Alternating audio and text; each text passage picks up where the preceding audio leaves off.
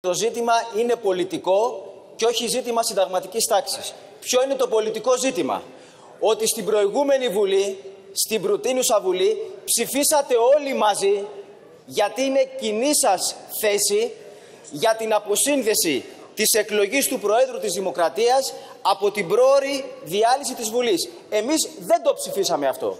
Και το ψηφίσατε αυτό γιατί πάνω απ' όλα βάζετε το στόχο της κυβερνητικής σταθερότητας. Η ΜΕ Νέα Δημοκρατία πάντα υποστήριζε αυτή τη θέση. Ο ΣΥΡΙΖΑ έγινε όψιμος οπαδός της κυβερνητικής σταθερότητας, ενώ το 2014 είχε αξιοποιήσει και καλά έκανε, και καλά έκανε λέμε εμείς, είχε αξιοποιήσει την προεδρική εκλογή προκειμένου να υπάρξει κυβερνητική εναλλαγή.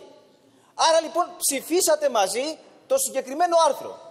Γι' αυτό και το άρθρο αυτό συγκέντρωσε πάνω από 180 βουλευτές και σήμερα μπορεί να αναθεωρηθεί με την απλή πλειοψηφία των 151.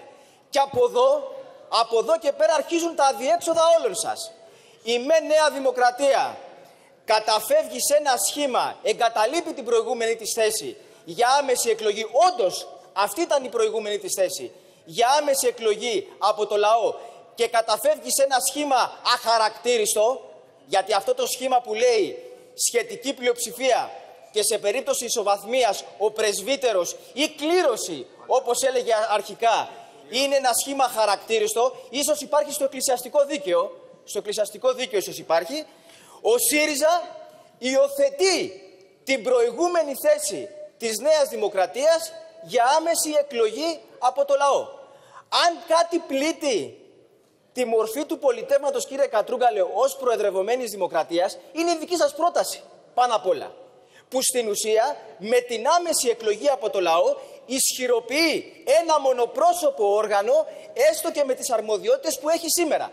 Χώρια που θα άνοιγε τη συζήτηση για ενίσχυση των αρμοδιοτήτων.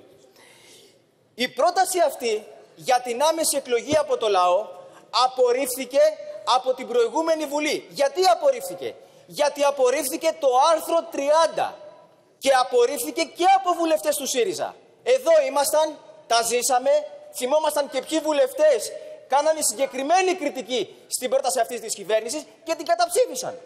Γι' αυτό δεν πέρασε το άρθρο 30 που έλεγε ότι ο πρόεδρος της Δημοκρατίας εκλέγεται ή από τη Βουλή και είχατε προσθέσει ή από το εκλογικό σώμα.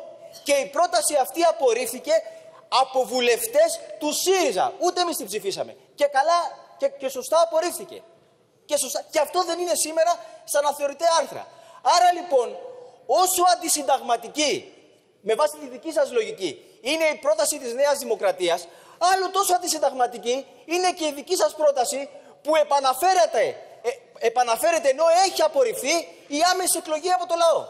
Άρα εδώ κύριε Πρόεδρε παίζονται πολιτικά παιχνίδια. Αυτό είναι. Και συζητάμε για το κύρος του Πρόεδρου της Δημοκρατίας και πάει λέγοντας. Εμείς ξέρετε πάρα πολύ, ξέρετε πολύ καλά τη θέση μας για το θεσμό, όχι για το πρόσωπο, για το θεσμό τους, του Πρόεδρου της Δημοκρατίας. Αλλά εδώ έλεος με την υποκρισία. Ο κύριος Κατρούγκαλος το 2014 έλεγε ότι και το Θεό τον ίδιο να προτείνουν δεν θα το ψηφίσουμε. Και σωστά έλεγε. Τότε τον περιφερούσε το, το, το κύρος του θεσμού. Και τον υποβαθμίζετε, υποβαθμίζετε τώρα. Άρα λοιπόν εδώ παίζονται πολιτικά παιχνίδια με συνταγματικό προκάλημα. Υπάρχει πολιτικός καιροσκοπισμός και από τη μεριά της Νέας Δημοκρατίας με τη θέση αυτή την αχαρακτήριστη που υιοθετεί. Υπάρχει πολιτικός καιροσκοπισμός και από τη μεριά του ΣΥΡΙΖΑ. Δεν ξέρω αν ο, ο πολιτικός καιροσκοπισμός είναι αντισυνταγματικός. Μάλλον επιτρέπεται από αυτό το σύνταγμα, για να μην πω επιβάλλεται. Γι' αυτό το λόγο εμείς δεν συμμετέχουμε στην ψηφοφορία αυτής της διαδικασίας.